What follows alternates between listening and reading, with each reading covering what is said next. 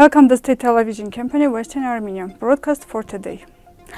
The delegation of the Republic of Western Armenia met with the director of the Museum Institute of the Genocide Against Armenians.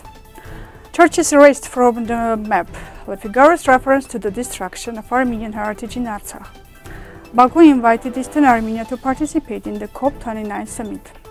A monumental temple of Urartian times was found in Shirak.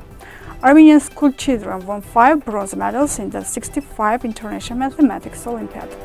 The head and hand of the statue of Goddess Anahit will be exhibited in Yerevan. Eastern Armenia's U20 basketball team defeated Baku.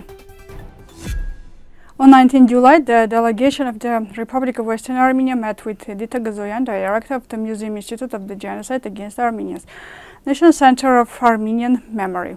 The meeting gave an opportunity to better understand the problems related to the genocide committed against the Armenians and the ethnic cleansing of the native population of Artsakh.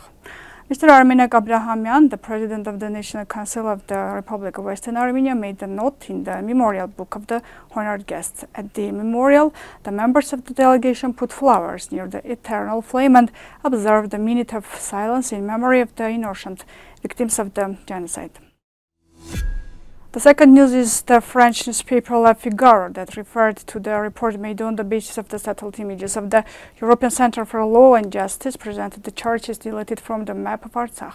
Among the destroyed churches is the Church of St. Sarkis of Hadrut, which was built in the 18th century and destroyed in 2022. The area has been cleared for the construction of a new building. On 4 April 2024, the Church of St. Mkrtich in Shushi, damaged by the Baku bombings in 2020, was also destroyed. Built in 1847, this church, and also known as the Green Hour, has been completely erased from the map, according to the non-governmental organization Caucasus Heritage Watch, based on the photographs provided by Cornell University, USA.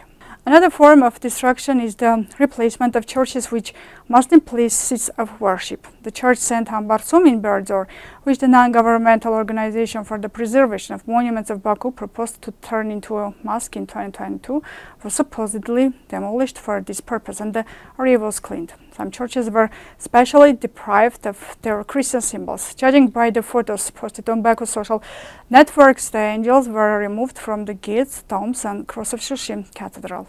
In the 14th century, St. Sarkis Church, the Baku government destroyed the religious symbols under the pretext of renovation works. Two historical slabs made of sacred stones, which were decorated with Christian artworks and medieval Armenian inscriptions, were broken, reports the European Center for Law and Justice. According to local sources, St. Hovhannes Astvatadzin Church, built and consecrated in 2019, was also vandalized by Baku. The cross above the Vangasar church in Tigranakert was also removed, which dates back to 7th century. We'd like to inform that Baku has invited Eastern Armenia to the COP29 climate summit to be held in their country in November. This was announced by Hikmet Hajiev, assistant to the president of Baku. Mukhtar Babayev, president of COP29, sent an invitation letter to the Minister of Foreign Affairs of Eastern Armenia.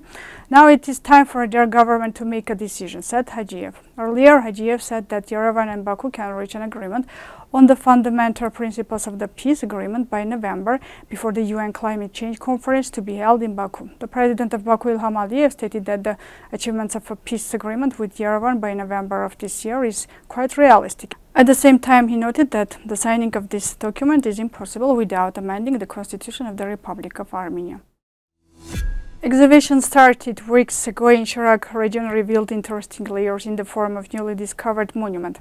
We learn about this from Sputnik Armenia. On top of the Jadzor fortress hill at an altitude of more than 1,800 meters under a thick layer of soil, archaeologists discovered a monumental tufa building. According to the preliminary archaeological hypothesis, it is a temple of Urartian times. During the Soviet times in the 1980s, brief excavations of the Jadzor fortress were carried out due to the accidentally exposed Bronze Age layer and ancient pottery burials, but they did not continue.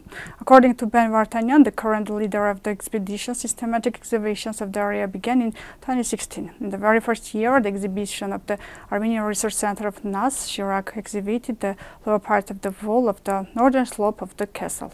It was then that the importance of the fort was revealed. Remains of Urartian weapons, broken fragments of shells, etc. were found under the wall. The finding gave the excavating archaeologists a reason to conclude that they were dealing with an Urartian attack, the capture and reuse of the fortress. The Jadzor fortress, we see the continuity of construction. The entire stratigraphic chain of the history of ancient Armenia is here, which ends with the presence of the Urartian, says archaeologist Levon Magorchan, a member of the expedition.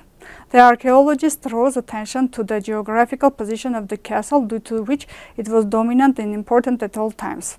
The location of the castle is very interesting. On one side is the Georgia of the Ahurian River, on the other side is the Georgia of the Hokhmik River, which give the fortress inaccessibility and open roads to the north Arshotsk and to the west Ardahan, Taik, etc., and also to the south Shira field, said the archaeologist. The Eastern Armenian team won five bronze medals and one letter of commendations at the 65 International Olympiad in Mathematics, held on July 11 up to 22 in the Bath city of Great Britain. 609 students from 808 countries participated in the Olympiad, which was held in two theoretical rounds. Our team took the 48th position in the team calculation. The team was led by Sambat Gogyan and Grigor Keropyan. In the 64th International Mathematics Olympiad, the team of Eastern Armenia won two silver and three bronze medals. The government of Eastern Armenia will allocate 5,700,000 drams to Mother Goddess for the popularization of the temporary exhibition Mariam from Anahit. The decision was taken during the government session. The preserved head and hand from the famous bronze statue attributed to the goddess Anahit found in Satakh, presented in British Museum's permanent exhibition, will be displayed in the History Museum of Armenia. The opening of the exhibition is scheduled for September 21, 2024 within the framework of the Eastern Armenia Independence Day celebration. It is expected that during the six months of the exhibition, the museum will have at least 300,000 visitors and as a result of the popularization, from 800,000 to 1 million people will be informed about the exhibition. Eastern Armenian team won the European Championship against the Baku team. This is reported by the Basketball Federation. It should be noted that the U20 team of Eastern Armenia finished its performances in the B division of the European Championship. Yoram Elikian was recognized as the most effective player of the match. He scored 15 points and got 21 rebounds. This was all for today. Goodbye.